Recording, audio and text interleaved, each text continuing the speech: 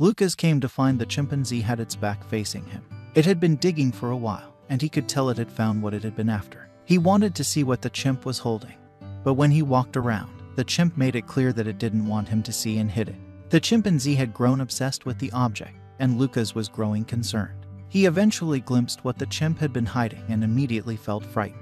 He worried that his life was in danger. Lucas knew that some people probably questioned his career choice, especially with his heritage. His father was a trusted doctor in their community, and his mother was a theater actress. Despite his parents having jobs with high esteem, he wanted to pursue a career that he felt fit his desires and needs, something most didn't understand. Lucas Carlson lived in Kristiansand, Norway. It was a close knit community where people knew each other well. Each family had a certain reputation to uphold, so when his parents heard what he wanted to do, they didn't know what to say. Lucas' passion didn't lie in theater or medicine. He had a fascination for exotic animals. Growing up, he'd only get to see animals from other continents on his TV until he visited the zoo. After visiting the Kristiansand Zoo at a young age, Lucas developed a fascination with species of animals that he had never seen before. He decided then and there that he wanted to pursue a passion that would let him get closer to them. And his dreams would come true when out of high school, he got a job at the very same zoo he'd visited as a child. But he had no idea how dangerous getting this close to these animals could be. Lucas' parents even managed to accept his career, even if other people wouldn't. It wasn't a glamorous job by any means. He worked behind the scenes at the zoo to ensure that visitors had the best experience. He just loved being so close to the animals. On the one hand, he had to clean up after them, but on the other, he got to feed them by hand. If only he knew that's what his downfall would be. There was one animal in particular that Lucas loved to visit more than any others. It was an exotic animal that he knew he'd never have a chance of seeing outside of Africa and Asia. They really had nothing quite like it in Norway or most European countries. It was the chimpanzee. Lucas was in love with a chimpanzee named Isak. He had been brought into the zoo 10 years before Lucas started working there. After Isak's parents were tragically killed by poachers, the Kristiansand Zoo volunteered to take him in. With most zoos in Africa already having many chimps, Isak would have been bullied by the others. Here in Norway, though, he was the only one of his kind. But Lucas would learn sooner or later that Isak had something dire to hide. Lucas had been keeping an eye on Isak for a few months, feeding and bonding with him. But soon, his behavior changed strangely. He went from a happy go lucky chimp to one that seemed focused and driven on only one thing digging. It started small. He would uncover a bit of mud with his bare hands. Lucas wrote it off as him looking for worms or out of boredom. But if he had known the real reason, he would have tried to intervene. Over the next few weeks, the digging turned into an obsession. Isak barely slept and barely ate. All he wanted to do was dig, and he had even upgraded his equipment. He had switched from using his hands to using whatever he could find. His most recent discovery was that a stick worked a lot better than his hands. He had started to use that to dig deeper than he could have before. But Lucas wouldn't be ready for the explanation. Isak's eyes looked different. This was a dark obsession that was consuming him. Lucas wondered if he didn't have some kind of illness that made him act so strange. He knew he had to intervene. But by the time Lucas got permission to go into Isak's enclosure to check what he was doing, the primate would have already dug up what he was looking for, and it would change Lucas' life forever. The chimpanzee's back was turned to Lucas. It was clear to him that he had found whatever he was digging for. But as he walked around the chimp to see what was in his hands, the chimp quickly hid it away. This object had become the chimpanzee's dark obsession. But as soon as Lucas managed to sneak a glance at the artifact it held, he feared for his life. All Lucas could tell at first was that it was sharp. He moved back a bit to give Isak some room. He didn't want to end up on the wrong end of the sharp object that he had. But when Isak noticed the fear in his zookeeper's eyes, he decided to show him. Isak opened his palm and showed it to Lucas. Lucas couldn't believe what he was looking at. It had to be of Viking origin and at least 1,000 years old. The object was, in fact, an arrowhead. Lucas could tell that it was very old. It must have been long buried and forgotten before the zoo even existed.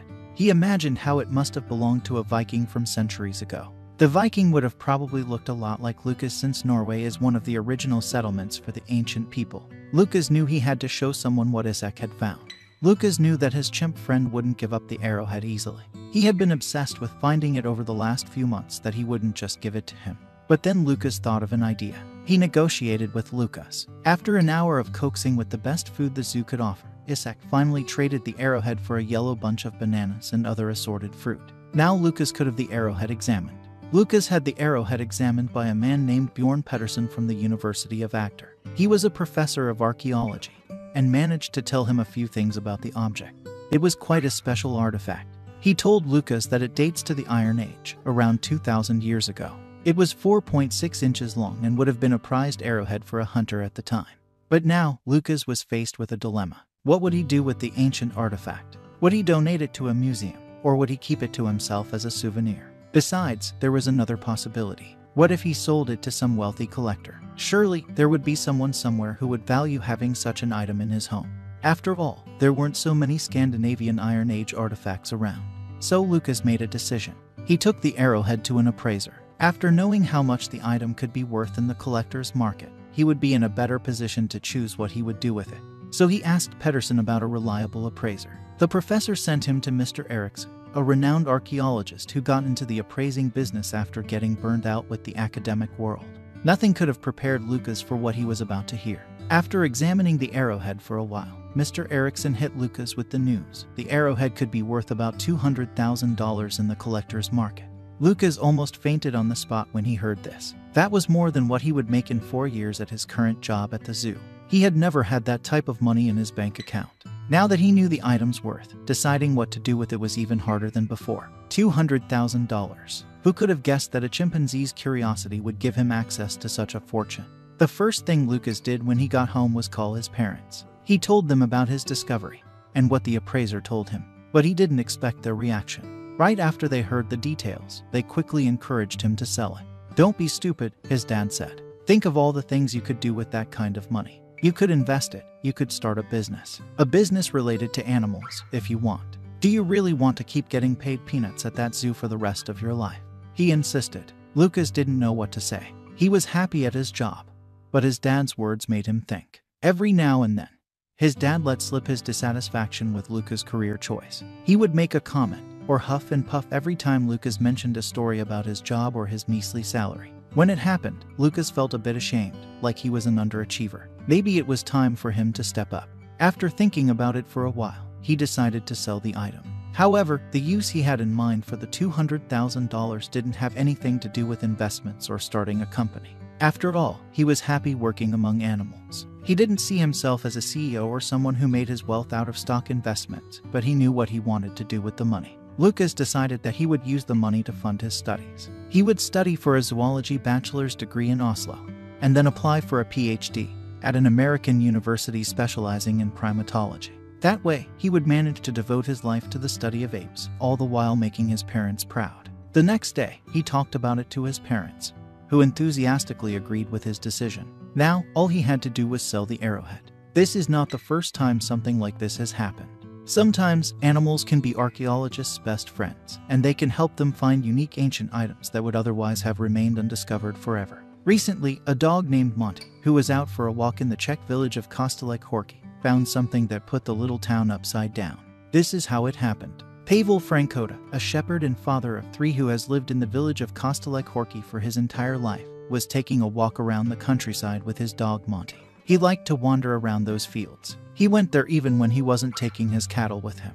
He loved the sights, the peace and quiet that couldn't be found anywhere else. Little did he know what he was about to encounter. At one point during their walk, Monty started acting strange. He stood still for a few seconds. He raised his ears and started barking at the air. What could be going on? Pavel had never seen Monty act like that. Usually, he was a very easygoing dog and always stood calm and collected.